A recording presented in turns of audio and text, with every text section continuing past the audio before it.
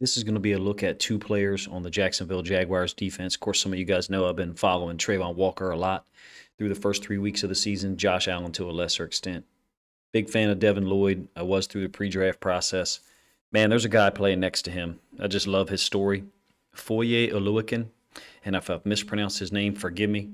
We're going to be generally focused on these two guys here. That's Oluokun, number 23, on the left hand side of the defense, Devin Lloyd on the right.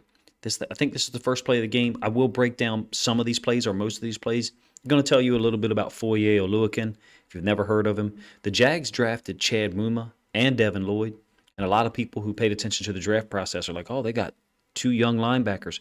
For, man, I don't, Muma's not getting on the field, barring injury. Uh, Foye Oluokun is 27 years old.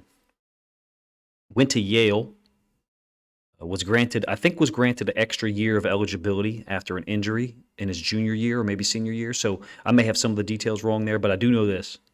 He's now playing in the NFL. He made 192 tackles last year while playing for the Atlanta Falcons.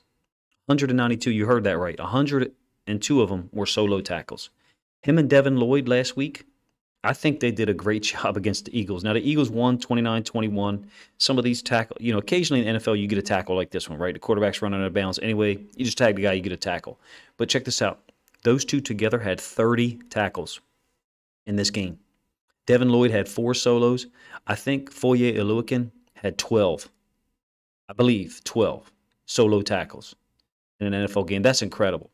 He's a guy who whose name you probably have never heard of. I'll be honest with you, I hadn't you know, heard of it in some cases um, until like when I looked up their depth chart in the preseason. So just check out some of the stuff that he's doing that I'd like to point out to you.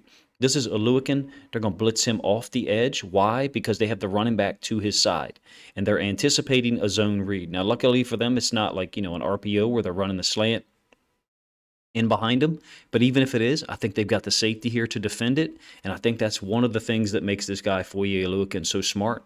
Him and Devin Lloyd next to each other, real athletic. And you see, he doesn't go on this blitz until such time that Jalen Hurts puts the ball in the running back's stomach. So this could be a read blitz whereby you say, if there's a mesh, we're, we're blitzing it off the edge. The DN to that side, I don't think I'll give you the end zone angle. Maybe I do. The DN to that side is slamming B. So it's just a gap exchange blitz. But in my opinion, Foye Oluokun is reading it. He's not running the blitz until such time as there's a mesh. If, for whatever reason, this running back released out into the flats, I don't think Foye Oluokun runs the blitz. I think he either drops in coverage or he goes and covers the running back as the coverage dictates. Hopefully that makes sense to you. I'm a huge Devin Lloyd fan. You know, but when you watch the film of these these guys together, it's it's hard not to be impressed by both of them. So same play, end zone angle. You can see Oluokun is right here on the right hand side. And look, I know the Eagles screamed past them. You know, once it was I think 12 nothing Jags. At some point, the Eagles just kind of turned it to a different level, and they made they made an adjustment. In my opinion, they went to the run game, and their offensive line is a super high level offensive line, so they're able to execute. You know, and chew down the Jaguars defense. But this is just brilliant stuff from a guy who whose name most of us don't even probably know 6'2 230 something like that on this film here at inside linebacker. You know he looks kind of small but he gets the job done. Some of these film some of these plays going to be from the end zone angle um, you know what looks like an rpo i believe that most of the game when when devin lloyd had the running back on his side he was generally holding or even expanding away when there was a mesh now, in my opinion, I'm not sure if I give you all 22 angle on this one. In my opinion, the nickel defender must be off screen here to our left. And that's the reason why on this mesh with the quarterback, Devin Lloyd is going to go ahead and play the run along with Oluokun. I think Devin Lloyd could be a rookie of the year candidate for defensive rookie of the year. And I think Foye Oluokun, like if he makes 192 tackles this year, 102 of them solo again, and he's not talked about for like all pro or Pro Bowl. Well, they're not having a Pro Bowl. All those things like that's just ridiculous. You know, he played in Atlanta last year. I know they had a bad season, but good football, good football shows up on film. You can see it immediately. It took me about probably 10 or 12 plays of watching it before I was like, oh my God, who is number 23? I was watching this to check out Devin Lloyd. You know, one of the things about Lloyd that I think is special is his ability to play against the pass. In man or zone, the guy seems to be in the right spot. I mean, in the pre-draft process, I can't show you the video to prove it because it was on another YouTube channel that's since been deleted. But I talked about his pass coverage skills. But even this, I didn't think they were this good. I didn't think his pass coverage skills were such that he had incredible awareness of the routes developing behind him, you know, or excuse me, to the net, to the outside of him, to the right of him on our screen, while he's looking at the quarterback. As soon as the quarterback pulls the pin on the grenade, he takes off, breaks on the ball. Him in the corner looks like could be cover cover two over there. You know, make the tackle for a short game. These two guys put on a show, man. They put on a show. I love their game. Same play, end zone angle. You can see that's DeVonta Smith running a little out. And Devin Lloyd is able to get out here. Once the ball is thrown and completed, Devin Lloyd's able to make contact, you know, about a split second after the ball is completed to the bottom of the numbers. That's another thing I talked about in a film study I did on him last week, last week is the range. You know, range is sometimes an overused word. You can't, you know, because sometimes a guy will show you great range, but it's still like a 10 or 12 yard gain. But in this case, it's great range on the, you know, on a pass play, second and 10, as you can tell up top and he he helps the corner, you know, prevent this from being a bigger gain. It ends up being like a five yard gain. All 22 angle. Hope you guys don't mind me switching back and forth, you know, between the angles. Great awareness by Oluokun and Devin Lloyd. This on this screen. Watch Devin Lloyd, you know, get something triggers him here. Post snap.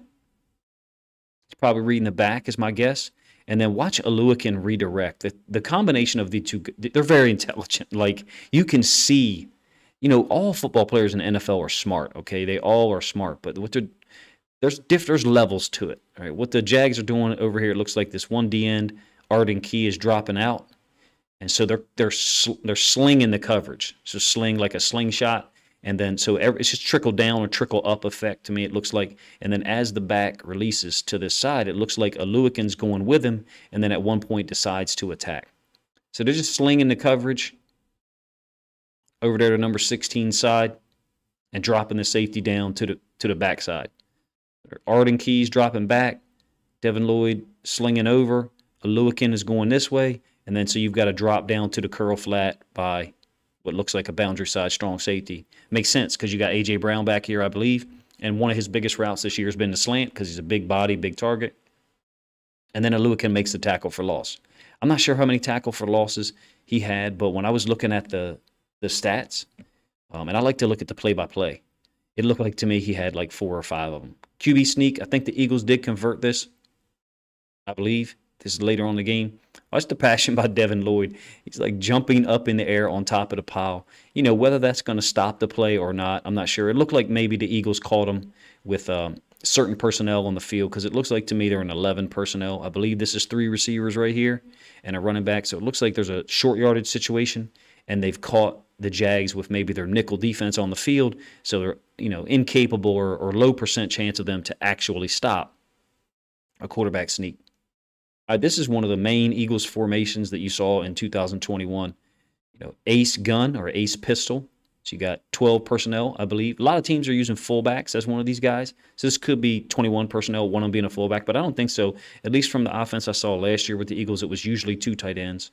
And they love the RPO stuff. So the back coming here, Jalen Hurts opening to this side, one tight end running out into the flats, and then sometimes turning this into a wheel.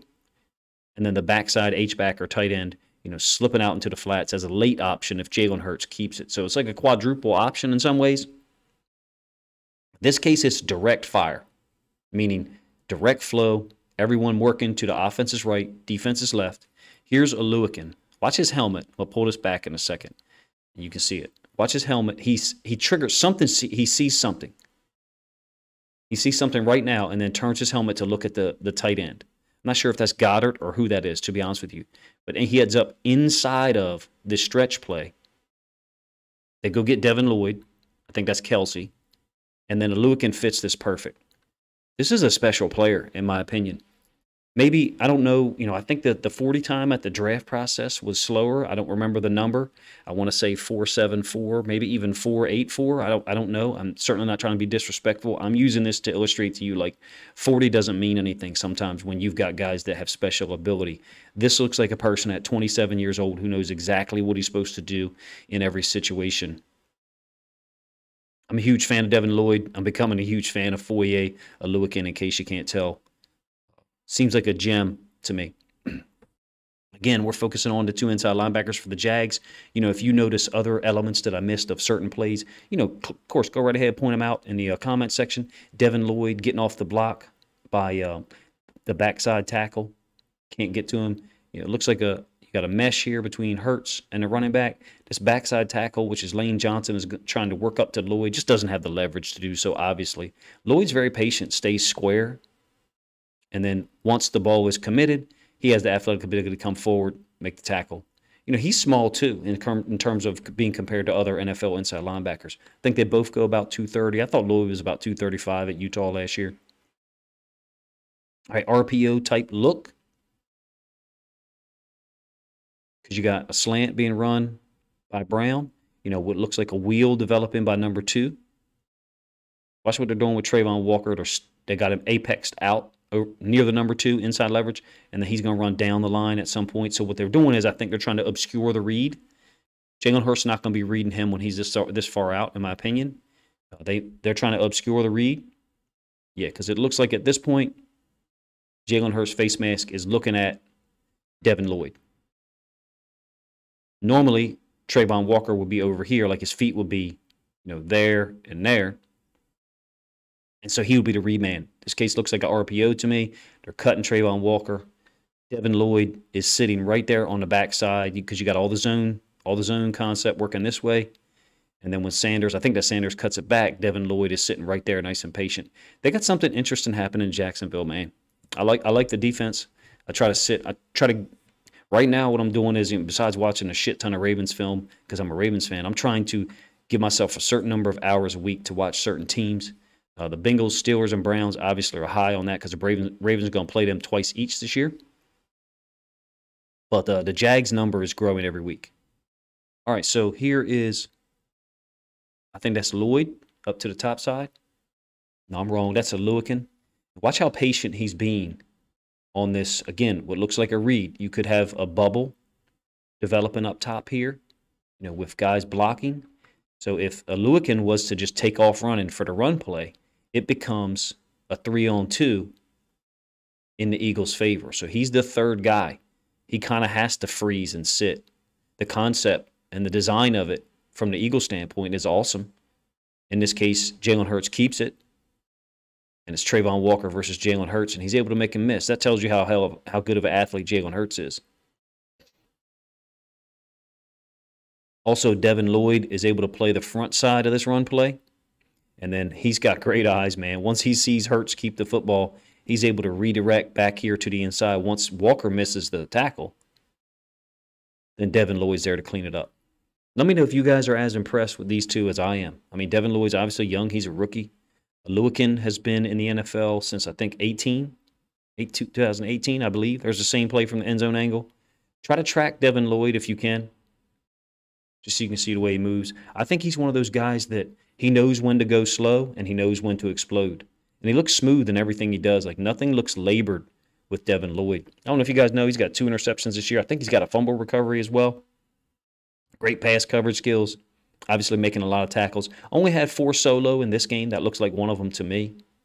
Him and Oluokun, man, they, they seem like they seem like they work well together. And that's one of the things about uh, inside linebacker, where you've got to work with your partner. You've got to work with your tandem. It's got to be a situation where you know how the other guy's going to fit, so you're going to fit it, you know, properly. In this case, you're the front side inside linebacker. You're fitting B gap, and you trust your tandem. You trust your other guys. Those guys are special to me, man. I'm I'm a big fan. You know, if you're a Jags fan, you're watching this video. Let me know what you think of my film breakdown. There might be some elements that I missed because you know I don't cover this team a lot like I do the Ravens, but I'm trying to watch to give myself an hour a week to watch Jags film. Um, and right, you know, this week is probably going to be a little more because I'd like to go back and see specifically some of the things they did. I, I watched enough to know that I think the Jags were trying to take away the pass element on the RPO read plays. They were trying to give Jalen Hurts multiple reads at times, maybe get uh, create a little bit of hesitation in his mind. And I think they have the athletic ability and explosiveness to kind of take people by surprise early in games. Seems like that's what they did. So let me know what you think of the film study. Uh, my film study, if you think there's missing elements, that's on me but there's certainly no missing elements, you know, when you're talking about these two guys here. So let me know how highly you rate or you think about Devin Lloyd and Foye Oluokun. Uh, two different stories because you got an instant star in Devin Lloyd, first round draft pick. And then Oluokun seems like a guy who's had to build his way up. I don't think he started many games at all for the Falcons until 2020. I think he started 14 games in 2020, and I believe he started all 17 games last year, 192 tackles, 102 solo, and I think he had three picks last year as well. That's special numbers, and when you watch the film, I think you see a special player. Let me know what you guys think of this film breakdown in the comments section.